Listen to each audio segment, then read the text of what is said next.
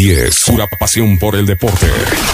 Así es, nosotros ahora con el nuevo director técnico estamos empleando algunos conceptos más para, para ir mejorando y llegar bien a, a ese partido. Por eso mismo vamos a trabajar el transcurso de esta semana, la semana que viene, para ir eh, convenciéndolo. ¿no? Eh, él es un técnico que le gusta tener bastante la pelota, no, no rifarla así nomás y, y jugar rápido.